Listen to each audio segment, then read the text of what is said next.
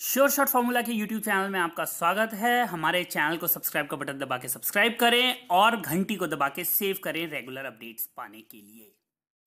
नमस्कार दोस्तों sure short formula dot com में आपका स्वागत है और आप हमारा यूट्यूब चैनल देख रहे हैं। नाइनटीन दिसंबर 2019 का दिन है। सुबह के दस बजकर अड़तीस मिनट हो रहे हैं और जैसा कि आपको स्क्रीन पे दिख रहा होगा crude NYMEX a quick update इस वीडियो में मैं क्रूड नाइमेक्स के ऊपर आपको एक क्विक अपडेट दूँगा। लास्ट वीडियो जो मैंने आ, कल बनाया था क्रूड के ऊपर सॉरी डे बिफोर यस्टरडे लग सत्रह सत्रह तारीख को जो मैंने वीडियो बनाया था क्रूड के ऊपर उसमें मैंने आपको कुछ रेजिस्टेंस लेवल्स बताए थे और अभी क्रूड में हमें उन्हीं लेवल्स से रिवर्सल देखने के लिए मिल रहा है।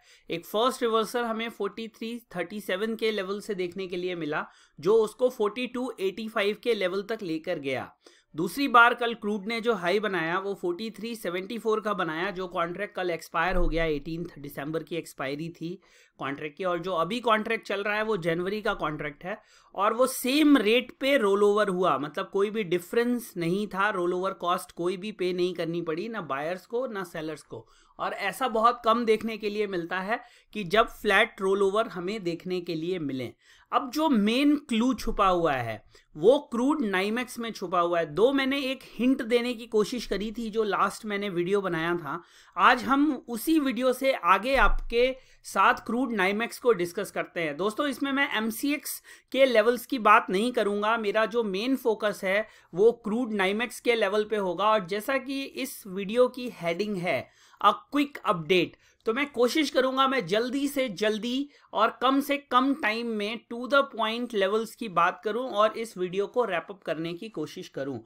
दोस्तों क्रूड में हमें कल एक 61.11 का हाई बनता हुआ दिखा। और जैसा कि मैंने पिछले वीडियो में भी नाइमेक्स के बारे में कहा था कि 61 से लेकर 62.80 के जो लेवल्स हैं, वो बहुत इंपॉर्टेंट रेजिस्टेंस हैं। और अगर कोई मीनिंगफुल डिक्लाइन आनी है तो इन लेवल्स पे रेजिस्टेंस लेना एक बार के लिए बहुत ज़रूरी होगा। उसके पीछे कुछ बहुत महत्वपूर्ण रीज़न हैं, जिसमें से एक ये है कि क्रूड का वहाँ रेजिस्टेंस है। क्रूड वहाँ ओवरबॉट हो चुका है। इवन कल जो इन्वेंट्री आई है, वो जो ड्रॉ था इन्वेंट्री का, वो लेस देन एक्सपेक्टेड था। Minus one point one million barrels का था और market minus one point five million barrels expect कर रही थी। तो जो इन्वेंट्री ड्रॉ था, वो निगेटिव था। उसके बावजूद भी हमें एक सडन अपटिक देखने के लिए मिला क्रूड के प्राइसेस में, जो कि सस्टेन नहीं हुआ। कल जो क्लोजिंग है, वो 43 44 के आसपास एम में देखने के लिए मिली। इवन अगर मैं नाइमेक्स की बात भी करूँ तो 60.80 85 के आसपास की क्लोजिंग देखने के लिए मिली।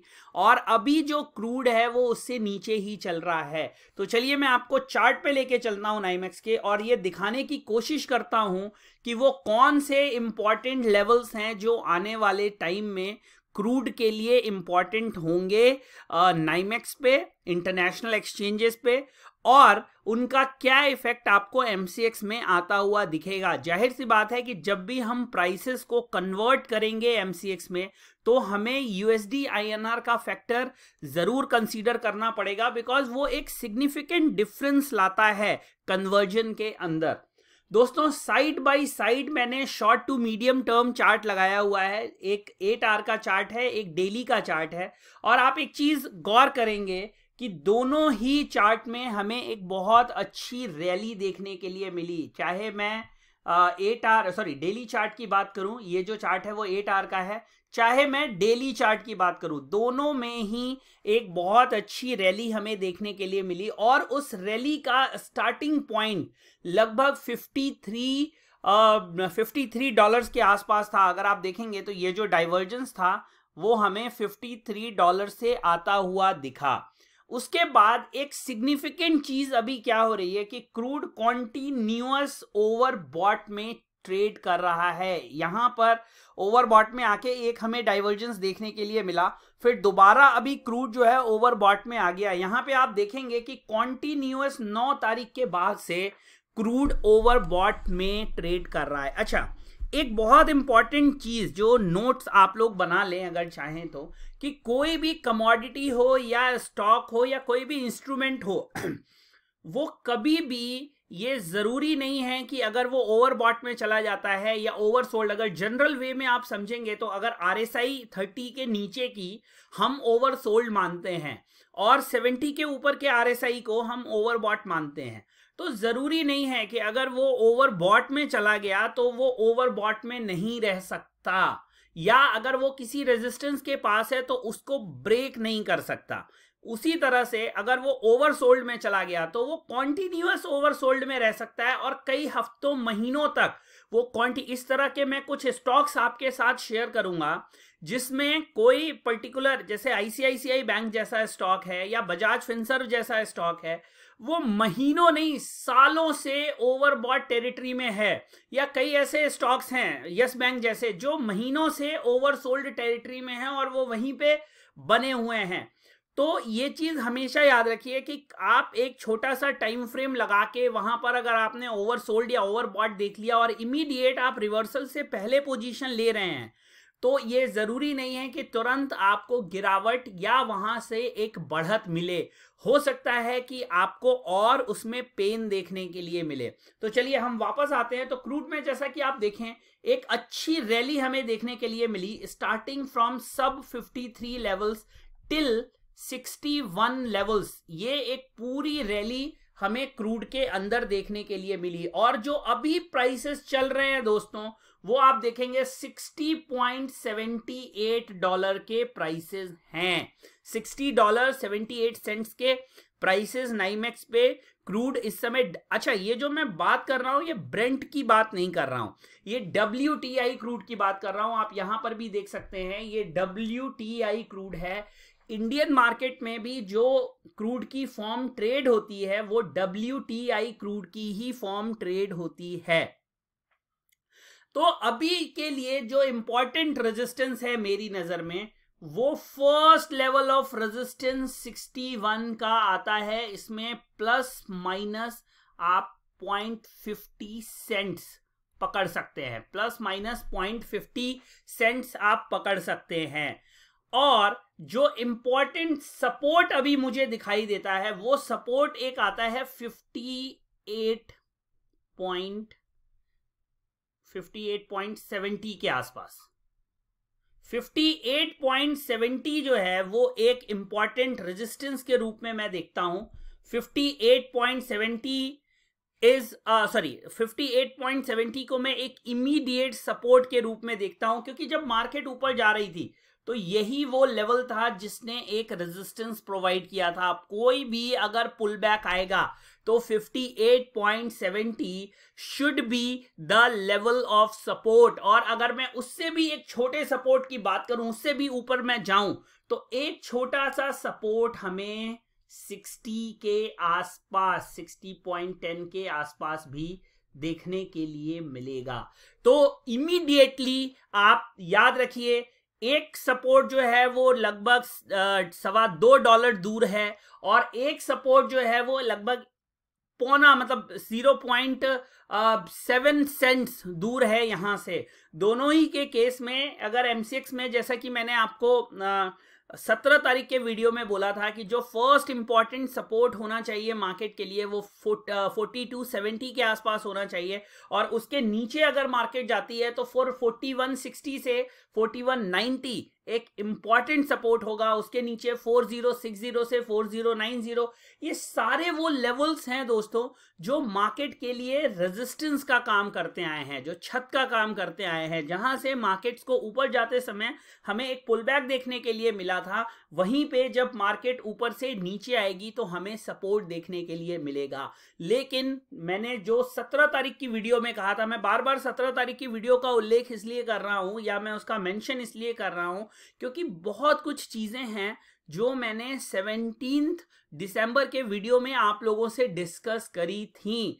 तो वो वीडियो, अगर इस वीडियो को आप कंप्लीटली समझना चाहते हैं या बार बार जो मैं रेफरेंस पॉइंट्स यूज़ कर रहा हूँ, उनको भी समझना चाहते हैं तो आप मेरी वेबसाइट पे, मेरे यूट्यूब चैनल पे जाके मेरा वो पिछला वाला वीडियोस देख सकते वीडियो देख सकते हैं। और एक सबसे आसान चीज़ है जिससे आपको मेरे सारे रेफरेंसेस सारे वीडियोस एक ही जगह पे देखने के लिए मिल जाएँगे, वो है मेरी वेबसाइट www.sureshortformula.com लिंक आपको यहाँ बॉटम में दिख रहा होगा। चाहिए उस पर क्लिक करिए। डिस्क्रिप्शन में भी मेरी वेबसाइट का लिंक है। आप जाइए, क्लिक करिए। वन बाय वन सारे वीडियोस देखना शुरू करिए। और तब अगर आप रेगुलरली मुझे फॉलो करेंगे तो मेरे कंटेंट को आप और अच्छे तरीके से समझ पाएँगे, उनको और अच्छे तरीके से जान पाएँगे, और आपके लिए लेवल्स पे काम करना और आसान हो जाएगा। तो अगर आप उनमें से हैं, जो केवल ब्लाइंडली किसी को फॉलो करके प्रॉफिट या लॉस नहीं करना चाहते बल्कि वो ये चाहते हैं कि मैं मार्केट को सीखूं,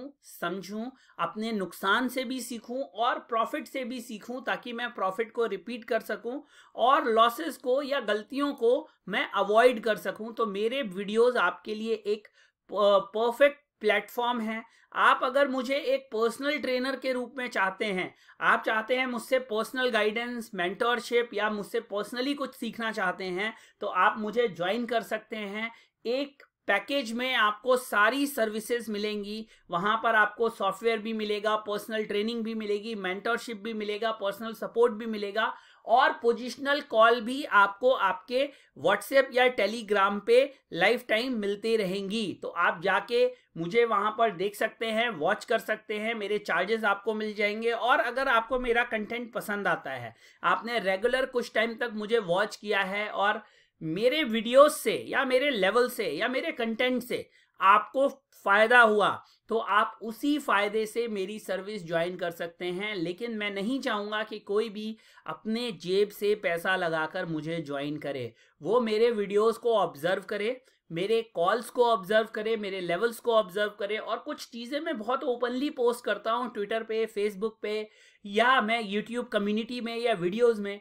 उन वीडियोस के ऑब्जर्वेशन से भी आप अच्छा खासा पैसा मार्केट से बना सकते हैं एटलीस्ट जो मेरी फ़ीस है उससे कहीं ज़्यादा आप बना सकते हैं। फिर आप जुड़िए हमारे mission one to twelve point five lakh का हिस्सा बनिए जिसमें अगर आप आ, ट्रेड करेंगे हमारे स्ट्रेटजी के हिसाब से प्लानिंग के हिसाब से तो आपका one lakh rupees strategically trade करके 36 मंथ्स के अंदर 12.5 लाख में कन्वर्ट हो जाएगा। उसमें कैसे ट्रेड करना है, कितना ट्रेड करना है, कौन से लॉट्स हैं, कब ट्रेड करना है, उसकी प्लानिंग क्या होगी स्ट्रेटजी हम कैसे बनाएँगे, उसमें क्या चीज़ें आपको करनी है, कौन सी चीज़ों से आपको दूर रहना है, कहाँ पर आपको कन्फ्यूज़न होगा और कहाँ आपको क्लैरिटी चाहिए होगी, ये सारी इन्फॉर्मेशन आपको नीचे जो नंबर्स दिए हुए हैं इनमें आप कॉल करके या व्हाट्सएप करके इंफॉर्मेशन ले सकते हैं।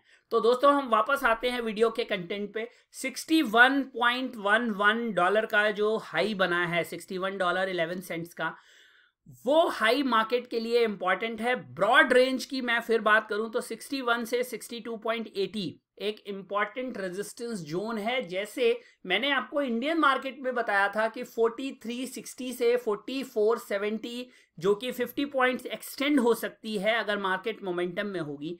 ये एक इंपॉर्टेंट जोन होगा और मार्केट अगर इसी मोमेंटम में वहाँ चली जाती है तो फिर वो गिरावट जो होगी, वो कम से कम ढाई तीन सौ पॉइंट की ट्रेंड रिवर्सल भी वहाँ से हो सकता है।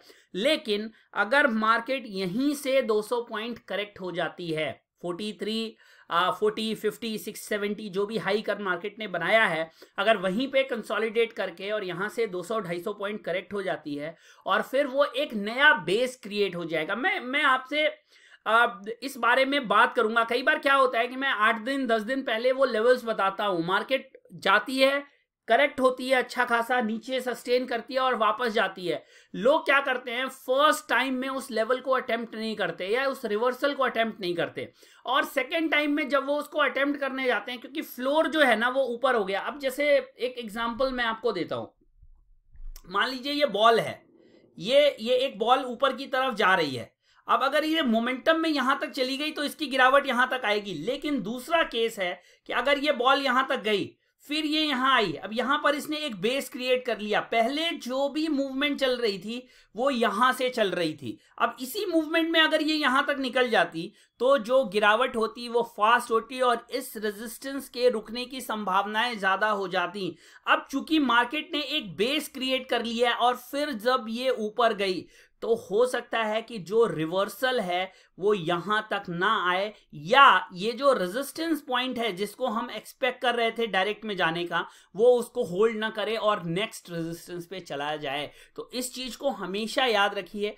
अगर कंटिन्यूटी में मार्केट उस रेजिस्टेंस को ले लेता है तो उसकी गिरावट की संभावनाएँ काफ़ी बढ़ जाती हैं। लेकिन अगर उस रेजिस्टेंस को लेने से पहले वो एक या दो करेक्शन दे देता है तो फिर बहुत पॉसिबल है कि वो उस रेजिस्टेंस को क्रॉस करके नेक्स्ट रेजिस्टेंस की तरफ़ चला जाए। ये भी एक टॉपिक है जो मैं लिख रहा हूँ। हम इसमें बात करेंगे कि क्यों एक ही रेजिस्टेंस बार बार काम नहीं करता, एक ही सपोर्ट बार बार काम नहीं करता। तो दोस्तों, ये एक क्विक अपडेट था मेरी तरफ़ से नाइमेक्स के लिए। इससे आप लोगों को कुछ ना कुछ एमसीएक्स का भी आइडिया ज़रूर मिला होगा। डिटेल में एमसीएक्स में मेरे लेवल्स क्या हैं कॉल क्या है, मेरा व्यू क्या है, उसको समझने के लिए आप जाइए मेरी वेबसाइट पे 17 दिसंबर 2019 का वीडियो देखिए और देखिए कैसे अभी तक मार्केट हमारे रेजिस्टेंस को नहीं तोड़ पाई। और अगर आपने टाइम पे वो वीडियो देखा होता तो शायद 50-60 पॉइंट आप मार्केट से अब तक निकाल चुके होते। तो दोस्तों, ये मेरा वही व्यू पॉइंट है। इसको देखिए, अगर ये आपको पसंद आता है, वीडियो अच्छा लगता है तो इसको लाइक करिए। लाइक करने के साथ साथ इसे ज़्यादा से ज़्यादा लोगों तक पहुंचाइए। जिन ट्रेडर्स के साथ आप जुड़े हुए हैं, जो ब्लाइंड ट्रेड करते हैं या ब्रोकर की एडवाइस पे ट्रेड करते हैं, या जब कोई चीज़ नीचे जाती है तो खरीदते हैं, ऊपर जाती है तो बेचते हैं, बिना किसी लॉजिक के। तो उनको ये वीडियोस आप फॉरवर्ड किया करिए। उससे बहुत कुछ उन्हें मार्केट को समझने में, काम करने में रिसर्च करने में एनालिसिस करने में साइकोलॉजी को समझने में मदद मिलेगी। जो मेन मेरा उद्देश्य है या मेन मेरा जो लक्ष्य है इन वीडियोस को बनाने का, इन कंटेंट को बनाने का, वो ये है कि लोग मार्केट की साइकोलॉजी को समझें। अब आप सोचेंगे कि मार्केट कोई इंसान थोड़ी ना है कि उसकी कोई साइकोलॉजी होगी। मार्केट को एक कनिंग इंसान की तरह ही आप समझ के चलिए। मार्केट को समझिए कि वो एक साहूकार की तरह है, जो किसी भी तरह से आपका पैसा लेना चाहती है और आपको फिर उस तरह से सोचना है कि आप ऐसा क्या करें कि आपका पैसा उस साहूकार के पास ना जाए और आप अपने पैसे पे कम ही सही, लेकिन एक रेगुलर इनकम कमाते रहें और ज़्यादा लालच में पड़ के अपनी सारी जो सारी जमा पूंजी है वो उस साहूकार के हवाले ना कर दें। उस साइकोलॉजी को समझने में मेरे वीडियोस आपकी बहुत मदद करेंगे। तो दोस्तों, इन्हीं शब्दों के साथ इस वीडियो का समापन करता हूँ। अगर आप ये वीडियो यूट्यूब पे देख रहे हैं तो हमारे चैनल को सब्सक्राइब करें। फेसबुक पे देख रहे हैं तो हमारे पेज को लाइक करें। और अगर आप ट्विटर पर देख रहे हैं तो मुझे फॉलो करें। बहुत बहुत धन्यवाद। जय हिंद, वंदे मातरम।